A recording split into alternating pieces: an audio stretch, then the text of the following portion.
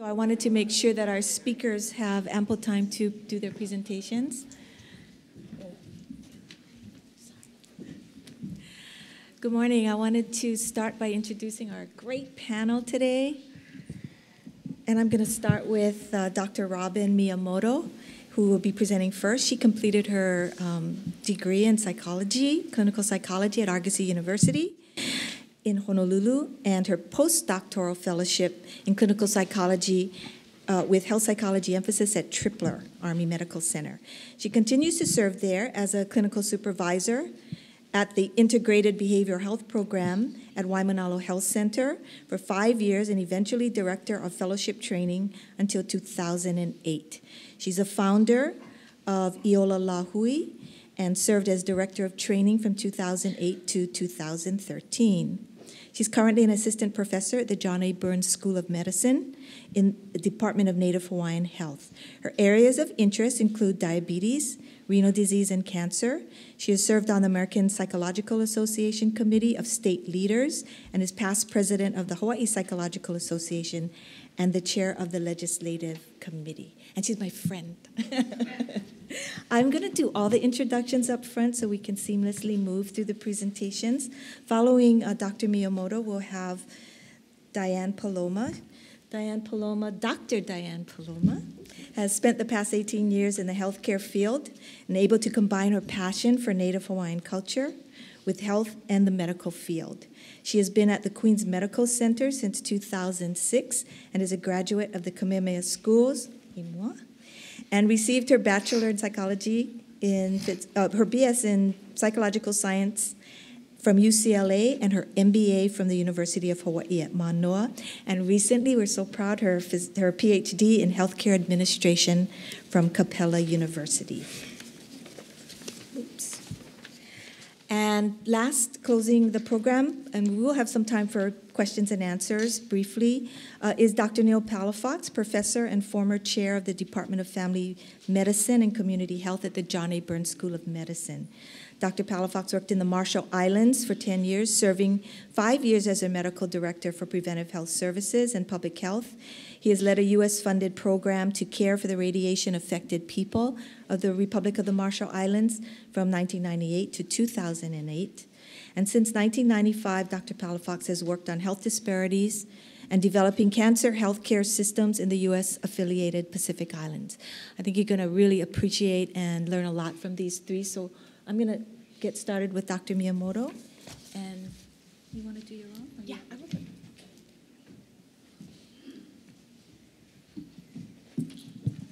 Good morning, everyone. For those of you who don't know me, I'm not Dr. Kamana'opono Crabbe. Um, he was he, was supposed to be our speaker this morning and was unable to make it, so um, I was asked to fill in at the last minute yesterday. So bear with me. Um, I'm going to be talking about Native Hawaiian healthcare advocacy and policy this morning. I'm going to find the button right here. Okay. So um, the Native Hawaiian Healthcare Improvement Act was initially passed in 1988 and reauthorized a few years later. This was really a mandate from the federal government to make it the policy of the United States to take care of the health of, of the Native Hawaiian people, to raise the health status, and to provide existing Native Hawaiian healthcare programs with the resources that they needed in order to effectuate these changes. Um, this was kind of a top-down approach to things.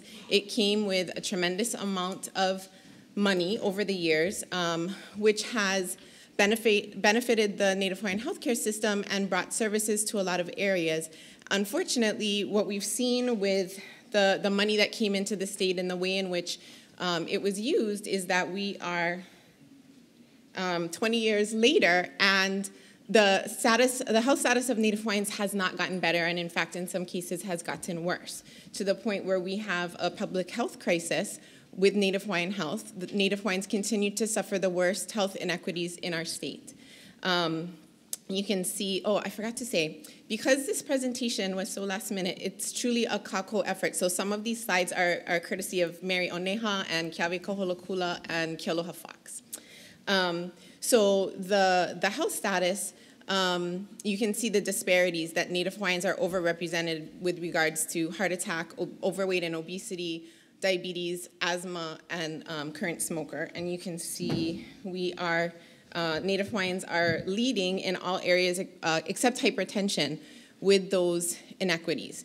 Um, tremendous rates of overweight and obesity, smoking, um, depression, diabetes, and then also looking at income and high, uh, education, which um, has to do with the, the social determinants of health that I'll talk about in a minute.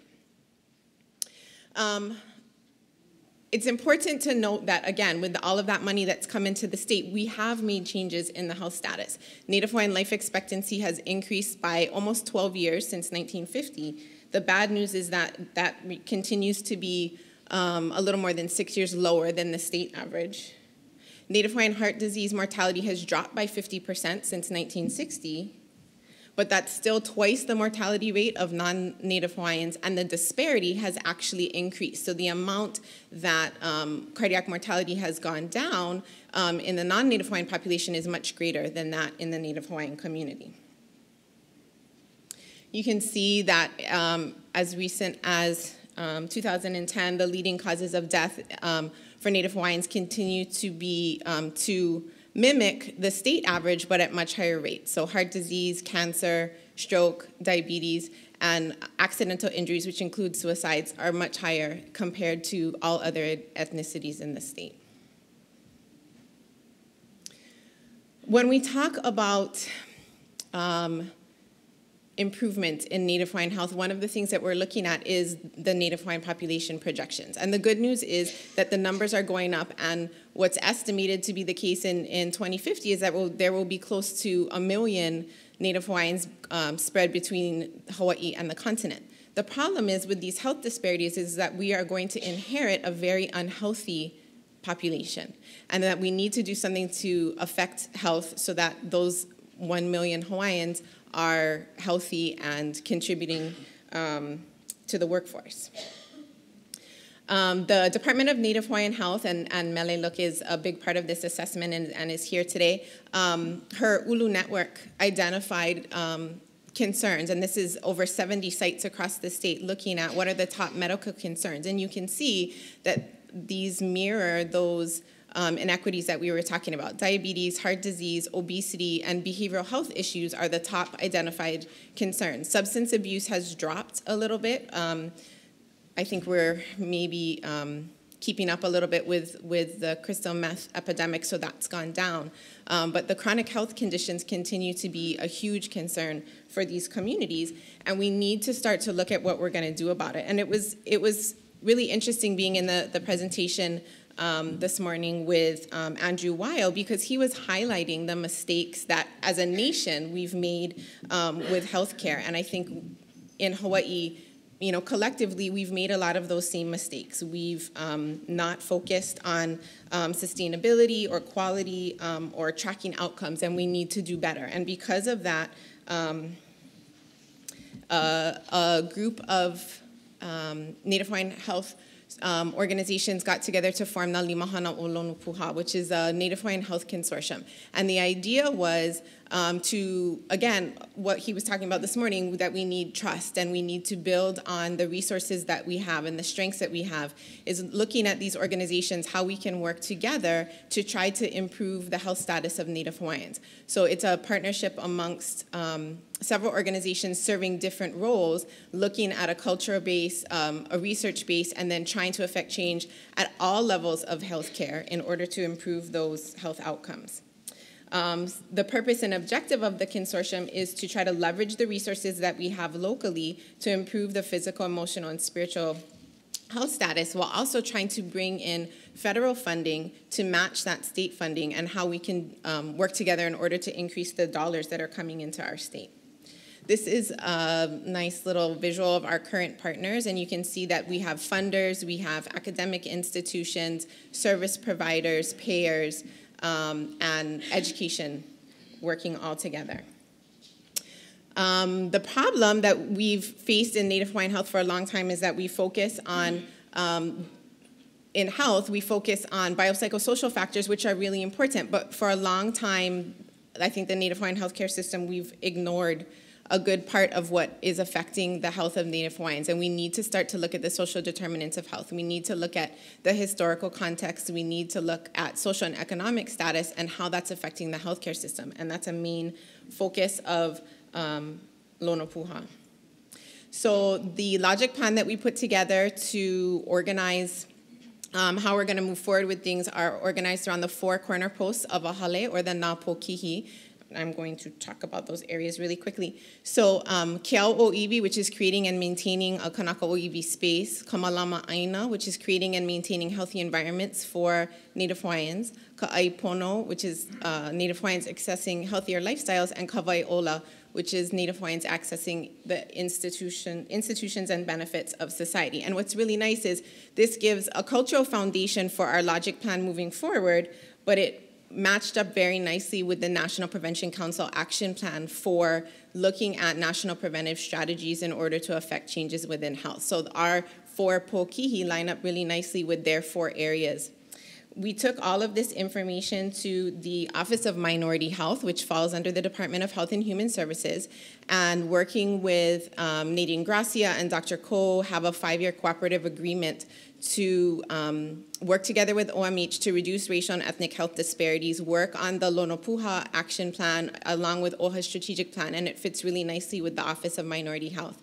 Our first project has been to have a year-long joint partnership with OMH and the National Partner for Action to um, adapt a health disparities curriculum to be implemented um, across the education system from high school all the way up to medical school.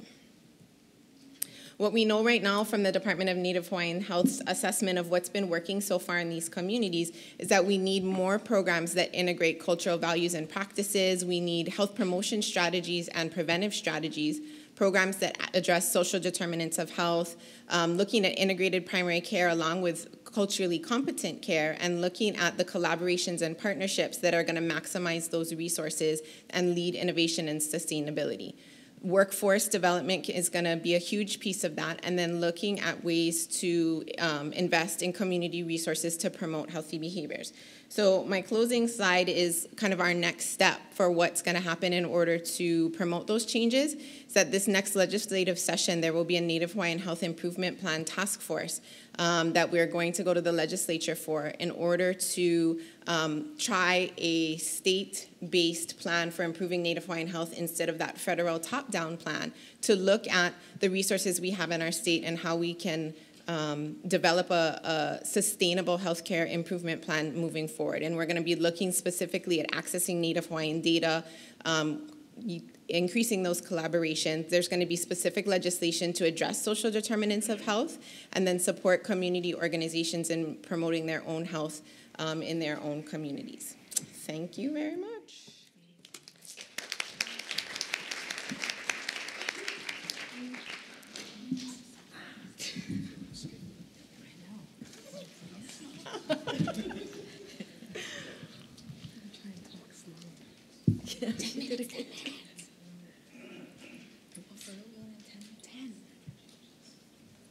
Dr. Diane Paloma.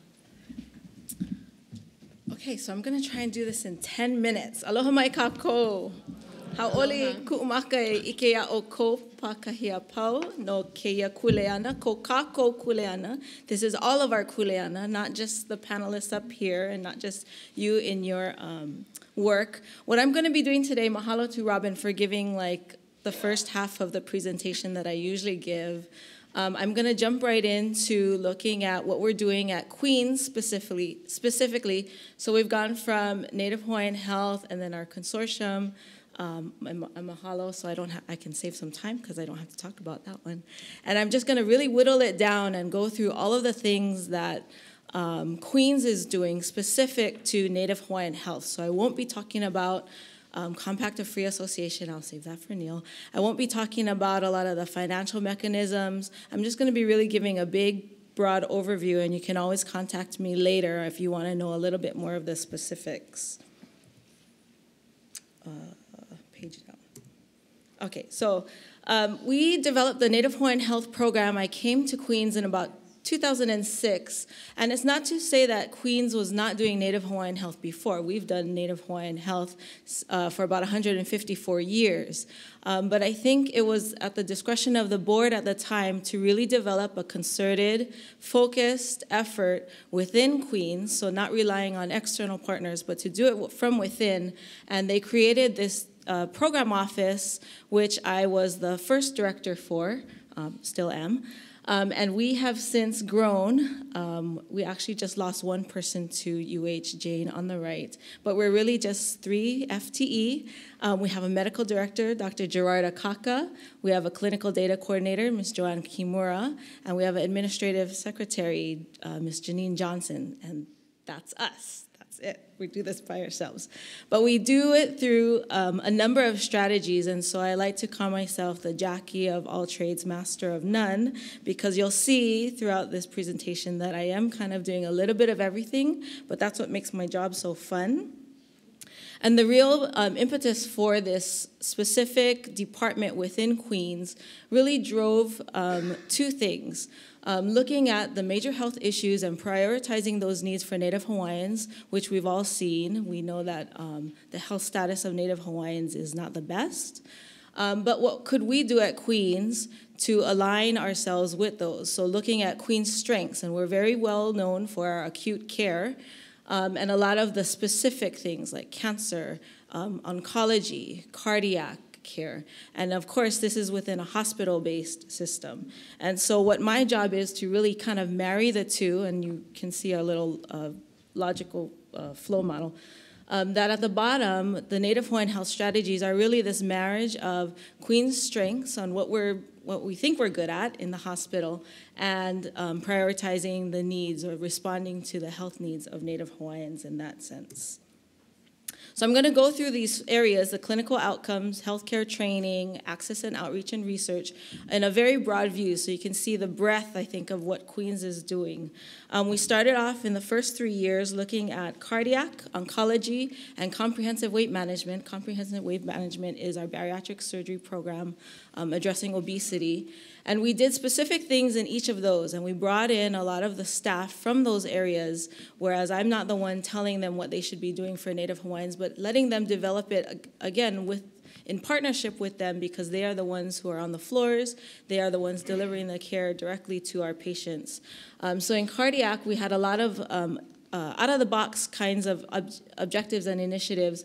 One of the, the most famous things that the cardiac service line is known for is using la'i in the room. So we use la'i or tea leaves um, on site, on campus, and we can bring them up to the patient room given that um, infection control, um, you know, all of the other uh, sidebar stuff.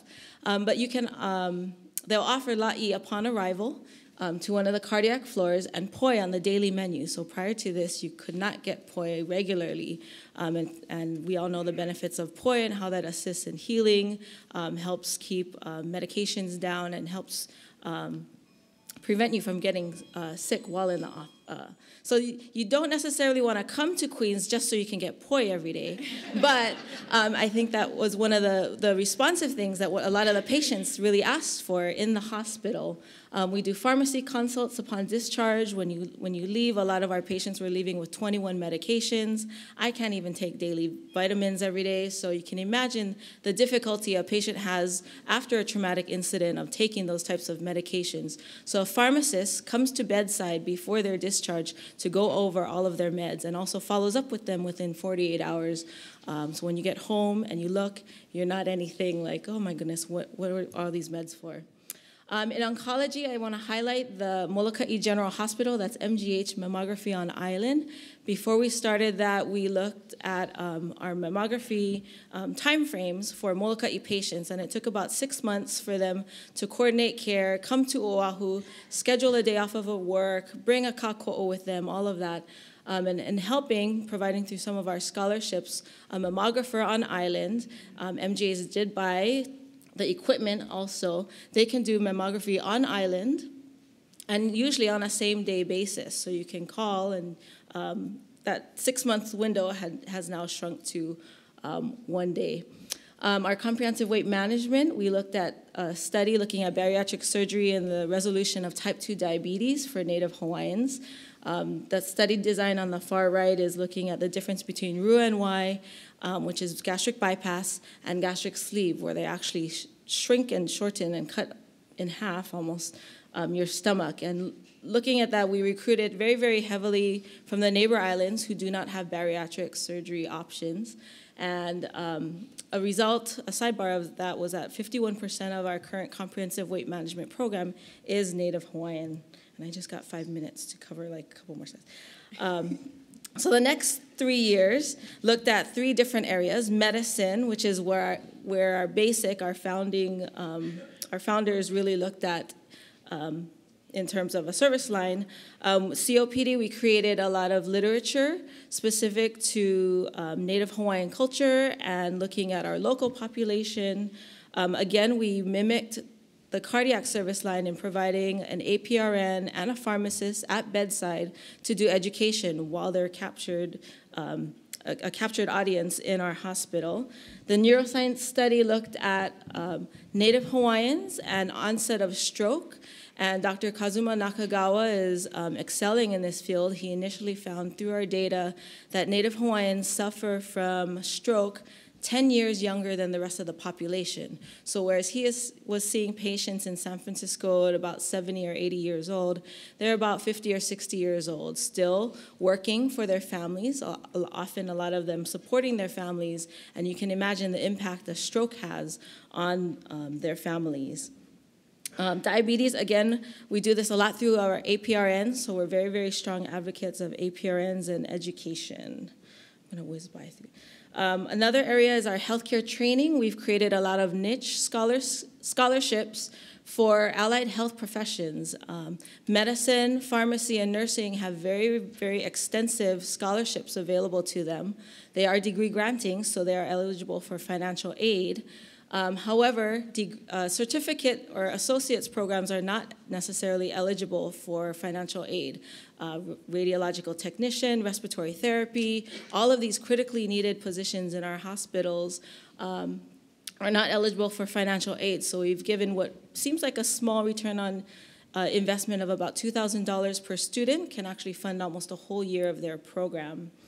Um, we've also supported um, through our Ulu Kukui project, which just, which just uh, completed its sixth year at Stevenson Middle School, looking at supporting students, faculty, and families on the importance of going into science and going into a biomedical career. And we host um, about 200 students every year um, in a career and health fair.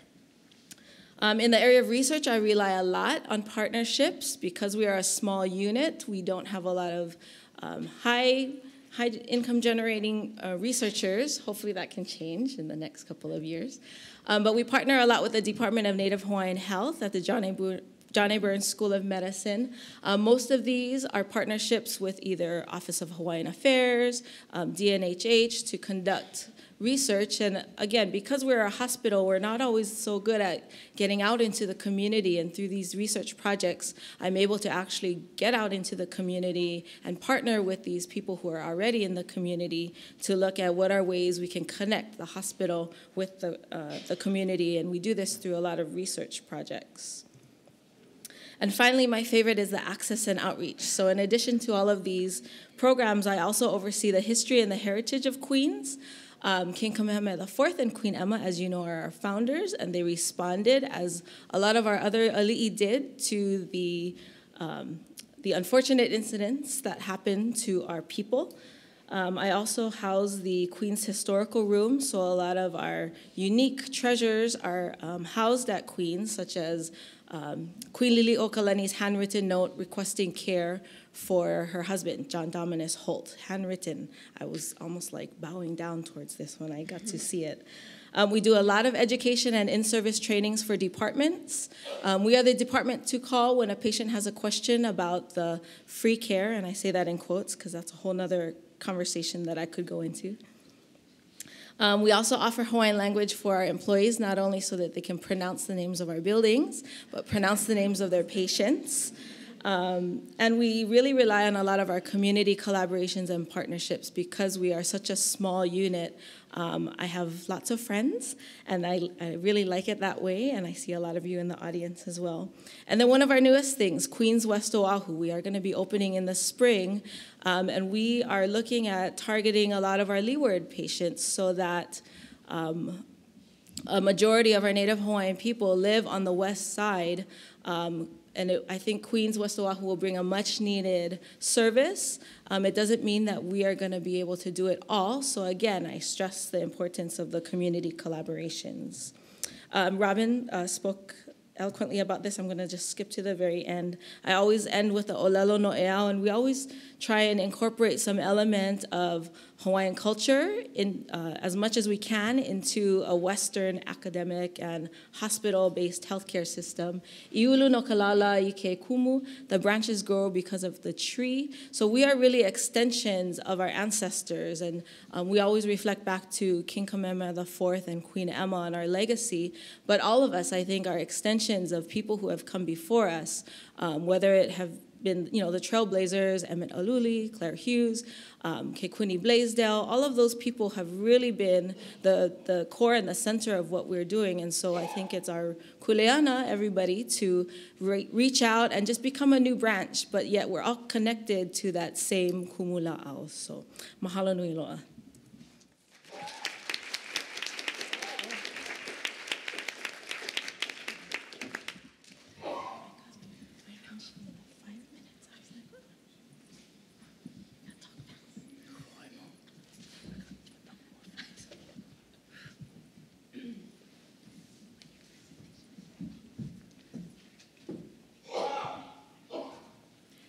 Hear from Dr. Neal Palafox.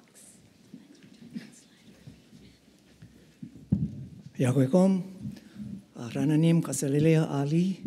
Uh, today I'll be talking on the compact impact and the other Pacific Islanders. This session was about Native Hawaiian health and other Pacific Islanders. And in 10 minutes, I'm going to cover other Pacific Islanders. Okay, how's it? Where's the down arrow? If I can figure out. How do I advance this? This. Okay. So the objectives are really uh, because we have to cover a lot. Um, I'm going to cover the area that has been really a flashpoint for Hawaii, and it's really the Micronesians in Hawaii. And even that terminology is wrong. So I'll be talking about the Compact of Free Association and the Compact impact in particular, the implications of Hawaii, and some things about the problem solving that surrounds this. And so, where, where uh, are we talking about? Upper right hand is Hawaii. American Samoa is the most southern. The target is the Marshall Islands. That oval circle is the Federal States of Micronesia. And the um, far left small oval next to that is the Republic of Palau.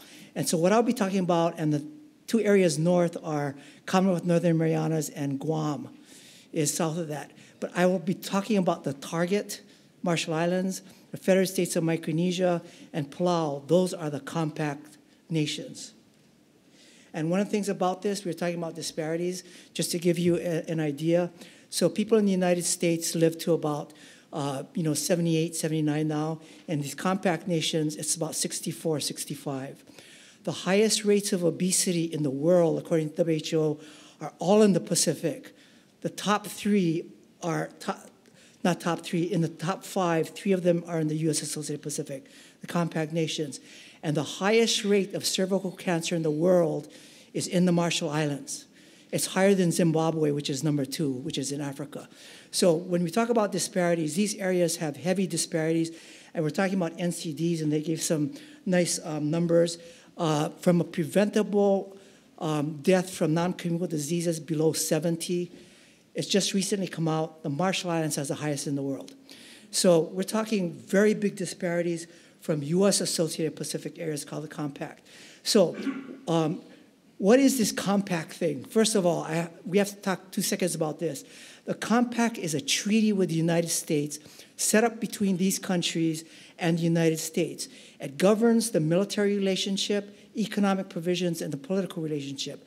What the essential point is that the military has con- total control over these areas The United States says we want control of these areas, airspace, who can come in in submarines and so forth, and we can build military bases and do nuclear testing. So that's what the military relationship is. In exchange for that, the US government says we'll give you some federal grants, we'll give you some operations money, but mostly they said for this, you can come back and forth to any territory, any state, live and work forever. So they are legally here in the United States because of this treaty. Forever. It's in perpetuity. And that's the treaty. There's three objectives that the compact had. One set up democratic governments, the second one was the military thing, and the third one was self-sufficiency. Why this is important is a US government accountability office studied the compact, and the thing that was the objective has failed and is not going to work, that's self-sufficiency. So if you're wondering why they're coming, self-sufficiency, which was an objective of this treaty, has not worked. And in 2003 and 2006, the US Government Accountability Office looked at it and said, you know what, it's not gonna work. So keep those things in the back of your mind. So the compact impact, the compact impact, the therefore is that within these nations, they have generally poor health and education because you know there's not enough money there, the, their self-sustainability didn't work out. Economic development is challenged, and therefore there's a large out-migration. Where do they go? They go to they can go to any U.S. territory, Guam, CNMI. They can come to Hawaii. They can go to Arkansas, which they do. 9,000 Marshallese in Arkansas, 4,000 Marshallese in California, 20,000 Marshallese in Hawaii, Guam, and CNMI. And what's the other thing about health, we have to focus on health a little bit, is that when the compact started, these folks could come to Hawaii and they could be on federal Medicaid. That was the rules because the compact started in 1986. In 1997, the United States government said, no, you're no longer qualified for Medicaid. So that's why they have become on state Medicaid or Quest, because the federal government, mid compact, took them off the ability to get onto federal Medicaid. And so, some pictures, and many of you probably seen this, I used this in several talks. This is a picture from uh, Island, an island um, in the Marshall Islands next to the U.S. military base. Um, such disparities, they don't even have enough fresh water there. There's 10,000 people that live on 66 acres next to the military base there. Um, so, compact impact. So, the Hawaii has estimated in 2010 that the compact impact populations have cost Hawaii $114 million. That's just in 2010. Now, just to show you that US GAO has also studied this and they questioned even the validity of this. They said that this is probably a high overestimation. But the point is, Hawaii government, it's a formal letter to the uh, Department of Interior says, you know what, the compact impact guys are costing us $114 million in 2010. The federal compact impact aid total is 30 million a year, but it has to be split between Hawaii, CNMI, and Guam, so therefore Hawaii shares 11.1. My point in this is that if Hawaii shares 11.1 for compact impact aid, and they're costing Hawaii 114 million, big imbalance, causes a lot of issues. You know, whether or not that top figure is correct or not, you know, it, it's a big delta. So, socioeconomic indicators, the uh, Micronesians, and I use, I'm using that word, the compact in fact, folks that are in Hawaii, 35% have less than high school education. Okay, 34% with high school education, and 15% have some college or college degree. Most are in service occupations. You see many of them in McDonald's and uh, Jack in the Box airports, hotels, cleaning service. So a majority of them, there obviously are some professionals. There's two attorneys I know, at least two attorneys, and there's uh, uh, two physicians that I know, but the point is there's most are in service occupations.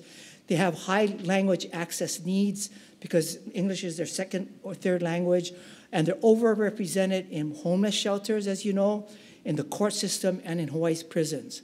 So they are way overrepresented as uh, the new immigrants, migrants here. So what is Basic Health Hawaii? Basic Health Hawaii was when the federal Medicaid um, couldn't take care of their health needs, they went onto the state Medicaid system, which is Quest because the federal government said no, Hawaii said yes, and they went on. The however is when Hawaii became strained, Hawaii wanted to push them off. So they developed what was called Basic Health Hawaii. So initially they said, you folks are going to get lesser class of health care, and this is what we're going to do for you because we can't, you guys are costing too much. And so they did, they tried to do this twice. The federal judge says you can't do this to these people. You're targeting a specific class of people.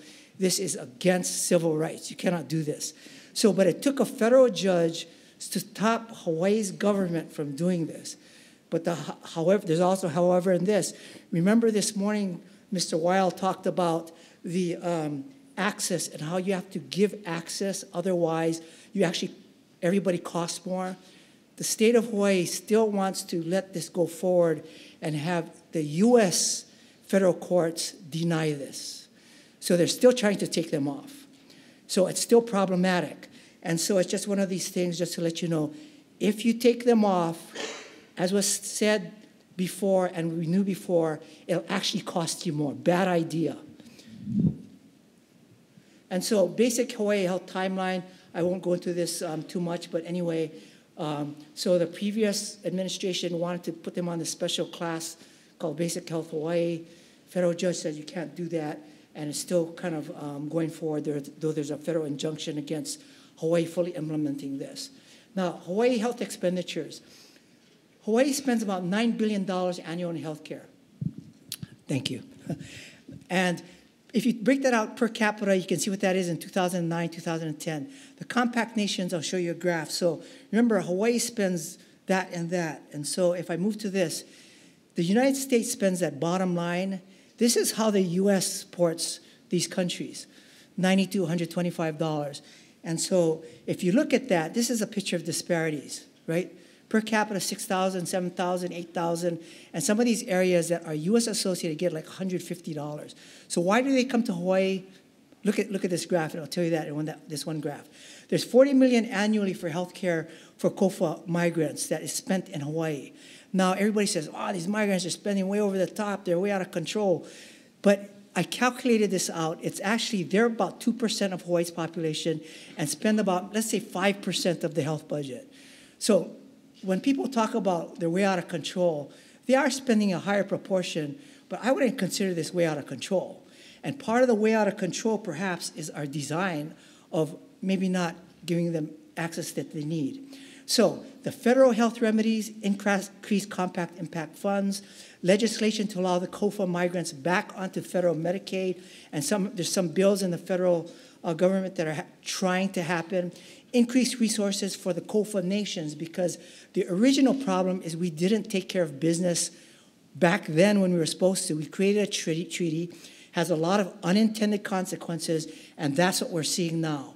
A lot of the unintended consequences for a plan and a treaty that went bad. So we reversed the 1996 thing that thing, the uh, uh, that said take the federal, freely associated states folks off federal assistance. The state remedies, and this has been looked at a lot. I just want to say there was a 2004 Hawaii uninsured policy brief. I was fortunate to be on that. There was a COFA task force report to the legislature in 2009. Lots of very productive things that came out of that. Nowhere in either report did it say put in basic health Hawaii. So, compact impact report to Hawaii State, the total is 115 million and so forth. What I wanted to point out in this is that a lot of people focus on healthcare as a big problem. The biggest health that the compact impact has positioned on Hawaii is not health, it's actually education. What education has to spend on healthcare in Hawaii is much big, not much bigger, it's significantly bigger than healthcare. So you can see the social determinants at work here poor education, a lot of costs, poor healthcare, a lot of costs. But unless you correct both, you're going to continue the problem. And also, unless you correct both in their countries of origin, you're going to continue this problem. The community remedies. A lot of people say, well, the Micronesians don't do anything for themselves. Well, I just want you to let, let you know there's lots of community groups, Micronesians United, Micronesian Community Na uh, Network, Nations of Micronesia, they're forming, they're trying to address this. There's New Health Community Coalitions, a Micronesian Health Advisory Council. There's a whole listserv that unfortunately it's called COFA CAN. In other words, the Compact of Free Associates, that COFA, you can do it, COFA CAN. Big network that's going around and trying to address some of these things. So the Compact Nations people are organized. They're trying to do this. They're not just sitting around in homeless shelters. And I just wanted to, because a lot of folks don't know that. There's many levels of arguments. There's a level of moral unfairness. So the U.S. took, tested, you know, nuclear testing and so forth. So there's a moral argument. There's a historical argument, just like the Native Hawaiians, the Kanaka Maoli. There's the data of, well, let's take them off these, you know, give them poor access and take them off. Real bad idea. It's, it's the wrong way to move if you're going to do something about that. And there's a legal the, uh, process things of how to work with the, you know, the nation's legal system as well as the, um, the local laws to correct this. And we can talk about the, addressing all of this. So public, public education and support, more federal support, um, international, we talked, and speaking as one voice. And I'll just say this, I'll say this out loud. And it's, it's a very uncomfortable position to hear. One of the biggest groups that pushes against the Micronesians is actually the Native Hawaiians. It's the Native Hawaiians who don't know about this in many of the areas. I gave several talks to folks in uh, Waianae area and talked to a lot of the youth, and they feel that there's too much competition for the small amount of health dollars from the Micronesians. That's why we, we they're, they're hard. But a lot of folks are moving away from that. But I can tell you that it's like two people in distress fighting for a small amount of dollars. They fight with each other. Wrong place to fight. But I needed to say that because you know that's what several of the Micronesian groups wanted me to articulate. It's not a negative thing. It's just the way it is, and I think it's an educational process. So that's what I had to say in a lot of different things. Speak with one voice, work together, a lot of educational opportunity. And I think a lot of it is truly about understanding the history, the context, and going forward with this paradigm. Thank you very much.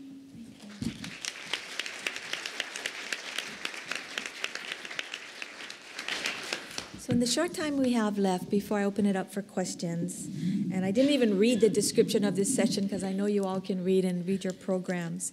But what I would like uh, to ask the panelists is to just share because all of you in the room are invested in health at some level.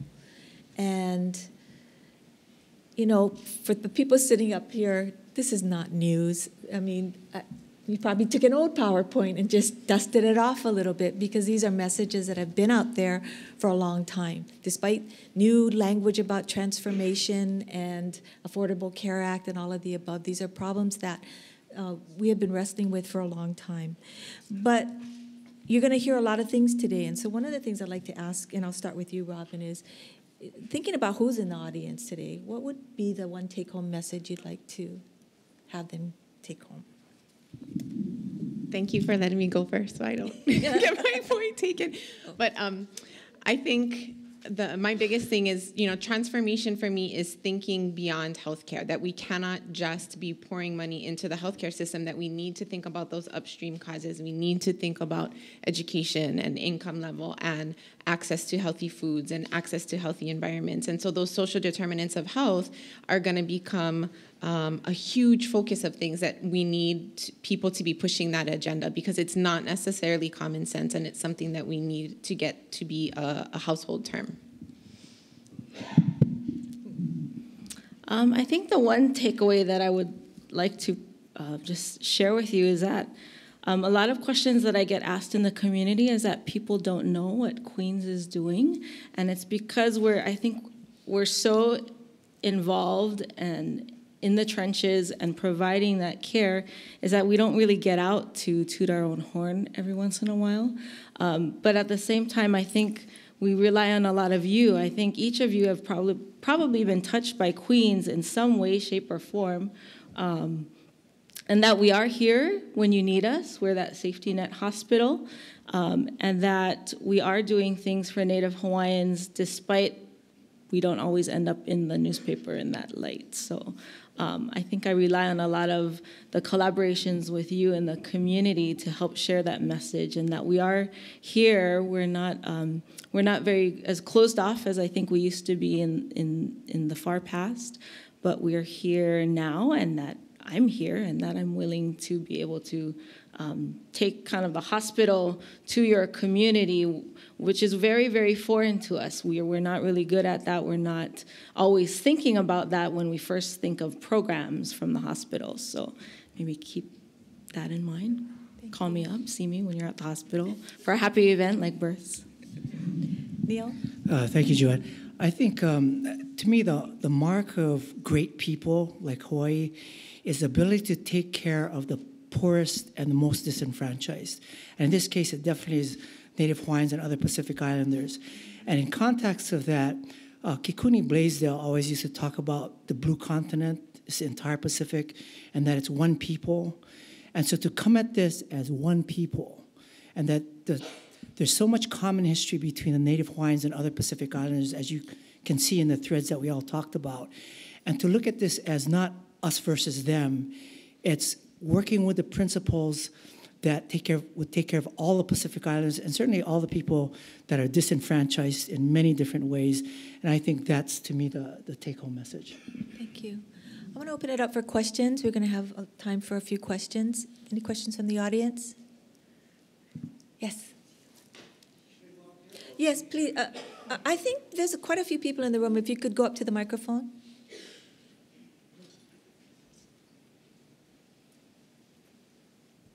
Aloha. I'm uh, Poka out from Waianae side. I wanted to make some comments with regards to changing paradigms for healthcare.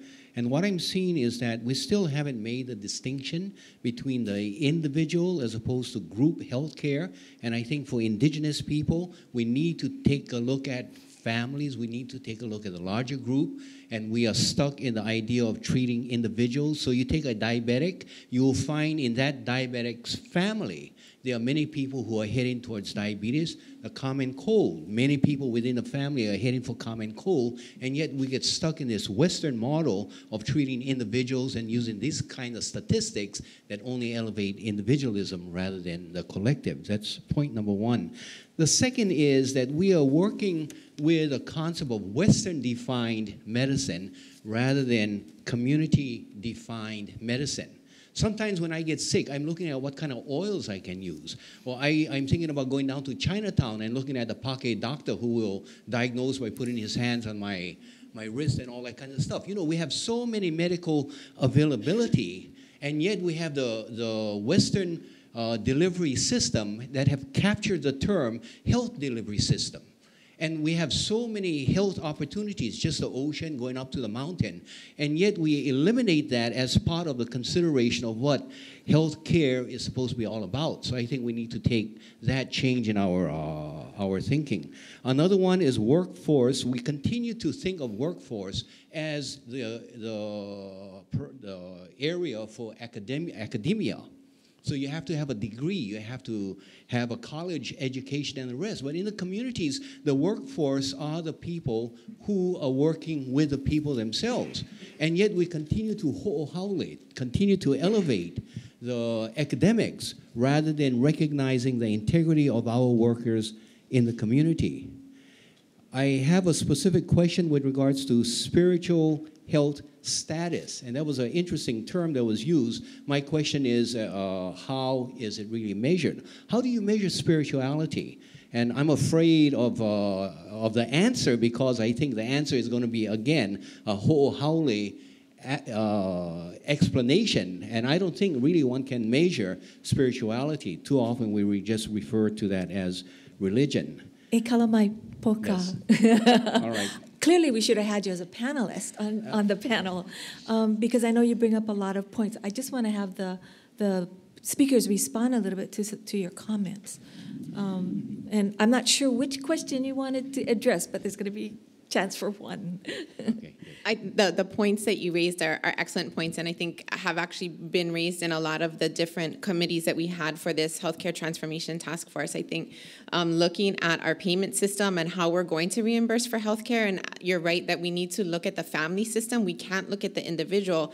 Unfortunately, the payment system that we were given really supports reimbursement for that individual, and it supports reimbursement at a um, per visit um, situation. And, and I, I'm hoping that part of this transformation that we will start to look at paying for quality health care for the family, for an individual that can utilize traditional healing, that can um, utilize preventive services instead of always focusing on that acute care model and, and treating the individual.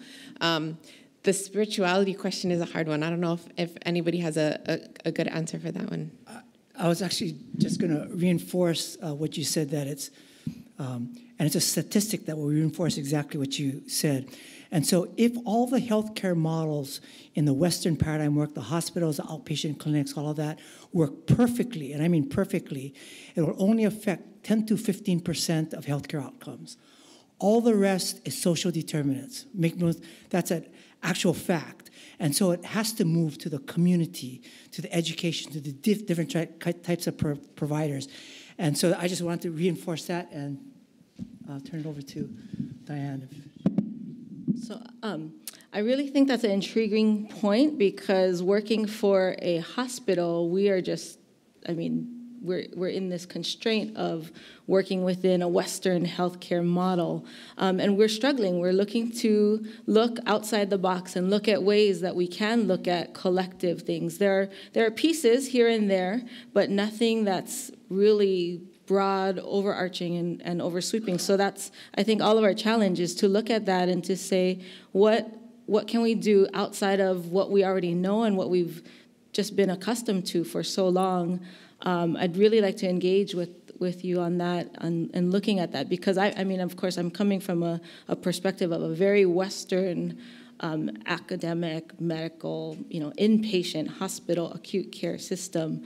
Um, but we're, we're finding pockets here and there. Um, to address your um, question on spirituality, we do have these we do have holistic APRNs who are trained in looking at spiritual things and looking at the connection between um, uh, coming to the root of the problem versus um, treating a symptom and we are starting that um, within the constraints of a hospital setting, but we're looking at ways to do that. And so I think um, always engaging is is going to be the, the way that we move towards really finding a balance between the two. And I, I don't know if if they can exist um, in you know in parallel within each other, um, but there's things that we can do now to affect the future for that. And and if I may, one quick comment on spirituality.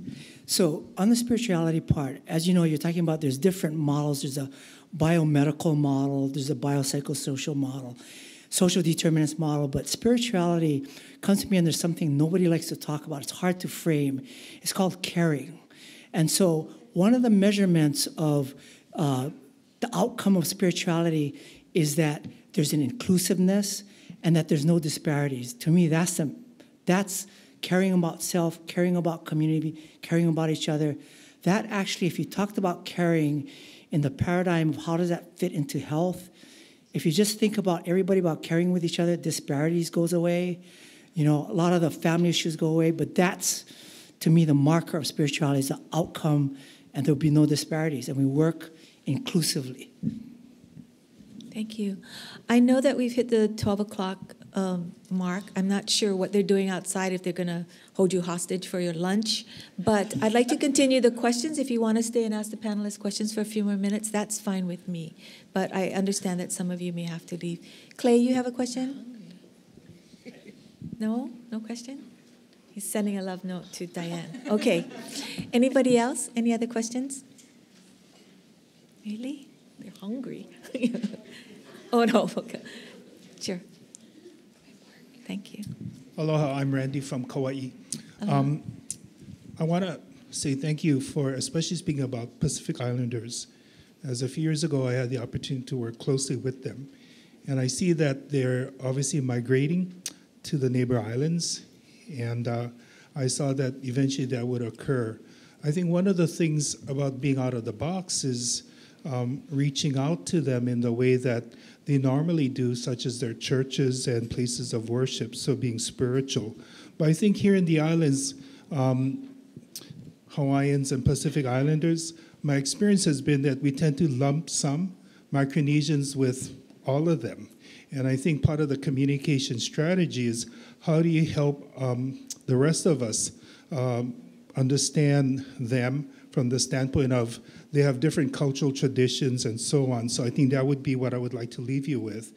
And more importantly, how many of you in here are Pacific Islanders outside the outside the Hawaiian population? If you could just show your hands. Well, that's the statement I want to make. What are we doing to reach out? Because we only have two or three people, three participants, and I think we really got a lot of work to do because they're going to be part of, if not already, our uh, socioeconomic model in terms of some of the costs. So I think we really got to step it up, and I just want to leave you with that idea. I would also invite you to say that same statement in every session you are in today. I really would, because a lot of decisions are being made for this group without the representation that you speak about. Other questions? That's it. I want to thank uh, the uh, panel members, Robin, especially for stepping in at such a late uh, moment, Diane, Dr. Diane Paloma, and Dr. Neal Palafox. Mahalo.